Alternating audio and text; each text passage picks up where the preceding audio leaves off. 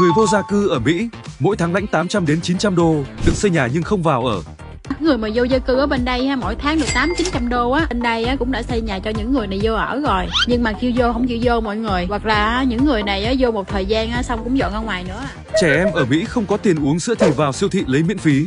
ở bên Mỹ nếu như mà các bạn có con nít á mà các bạn ờ, không có tiền á thì ờ, tiểu bang sẽ cho các bạn uống sữa các bạn có thể vô đây lấy sữa họ phát sữa cho các bạn uống miễn phí Một cô gái Việt chia sẻ, ở Mỹ có rất nhiều người vô gia cư và đa số là người lớn tuổi.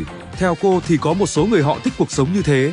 Người vô gia cư thì mỗi tháng được 800 đến 900 đô. Bên cạnh đó, hàng tuần họ cũng nhận được đồ ăn miễn phí và nhiều thứ an sinh xã hội khác. Cô cho hay, nhà nước cũng xây nhà cho những người vô gia cư vào ở nhưng họ không chịu. Hoặc những người này vào một thời gian cũng dọn ra ngoài. Một anh chàng từng cho biết một trong những điều anh bất ngờ ở Mỹ chính là có nhiều người vô gia cư. Thực trạng này diễn ra nhiều ở hai nơi anh đi qua là San Francisco, Los Angeles. Quá nhiều người vô gia cư. Thực trạng này diễn ra ở San Francisco cho đến Los Angeles mà mình đi qua. Đặc biệt những khu vực downtown càng nhiều người vô gia cư hơn. Nhiều lúc đi ngang qua khá sợ. Không chỉ có người Mỹ mà người Việt sinh sống tại Mỹ cũng có. Một chị gái cho biết tại Mỹ, tiểu bang California có rất nhiều người Việt Nam sinh sống thường những người vô gia cư rất là đông.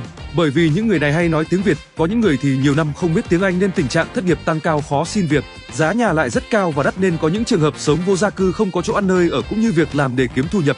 tình trạng thất nghiệp tăng cao tại vì không biết tiếng người ta thứ hai á, là giá nhà rất là cao rất đắt đỏ những người việt bên đó thì họ sống họ nói tiếng việt không à cho nên là cái quá trình hội nhập không có Một anh trai Việt ở Mỹ cho biết nếu không có tiền bạn có thể đến siêu thị lấy sữa cho con cái của bạn uống. Tại đấy có loại sữa miễn phí và nó chỉ dành cho những người có thu nhập thấp. Bên cạnh đó, một chị gái khác cũng từng chia sẻ về việc này. Ngoài sữa thì còn có thể lấy các loại khác nhưng nằm trong giới hạn. Sữa thì mình được 6 hộp như hình. Tiếp theo là các loại đậu, hạt hoặc là đồ hộp như à, bắp hạt, đậu Hà Lan. Loại này thì mình được 4 hộp. Trẻ em tại Mỹ luôn có những chính sách riêng. Một chị gái chia sẻ, trẻ em tại đấy được bảo vệ về pháp lý, người nuôi dưỡng trẻ dưới 18 tuổi có thể được giảm số tiền đóng thuế. Gia đình có thu nhập thấp, trẻ em ngoài được hưởng bảo hiểm y tế giá rẻ hoặc miễn phí thì được hỗ trợ tài chính trực tiếp do chính phủ cung cấp hàng tháng. Trẻ em dưới 18 tuổi thì được đi học miễn phí, có hỗ trợ xe đưa đón và ăn uống tại trường, các thiết bị học tập. Đối với những gia đình có cha mẹ đã qua đời hoặc mắc bệnh nặng hoặc thương tật thì các con nhỏ sẽ được hưởng các lợi ích an sinh xã hội theo quy định của chính phủ. Một anh trai tên Cường sinh sống tại New York Anh cho hay, họ rất ưu tiên cho con nít, thường hay xây nhiều công viên và dành riêng một khu để cho trẻ em chơi. Học sinh từ lớp 1 đến lớp 5 thì học từ 10 đến 15 giờ.